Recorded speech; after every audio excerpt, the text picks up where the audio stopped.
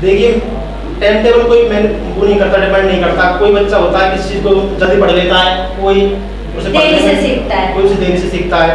मेरा ये नियम था कि मैं सुबह जल्दी जगता था चार बजे से लेकर मैं सुबह सात बजे तक पढ़ता था। उसके बाद अपना खाना पीना बनाकर फ्री होकर फिर मैं नौ बजे पढ़ने बैठ जाता था। फिर तीन घंटे पढ़ता था बारह बजे तक उसके बाद दिन में मैं विश्राम करता था दो घंटे। और फिर उसके बाद फिर दो बजे जग कर फिर मैं पढ़ता था शाम को पाँच बजे तक। फिर थोड़ा इधर उधर घूमने चले गए। उसके बाद फिर पढ़ाई स्टार्ट कर दी। फिर शाम को फिर पढ़ते थे, ऐसे ही मैं पढ़ता था। और जब हमारा एग्ज़ाम नज़दीक आया तो मैंने लाइब्रेरी ज्वाइन की थी। तो मैं ये कह सकती हूँ, आपने जो बताया है, वो गैप तो ऐसा लग रहा है कि तीन घंटे आपने पढ़े। उसके बाद आपने दो घंटे का ब्रेक लिया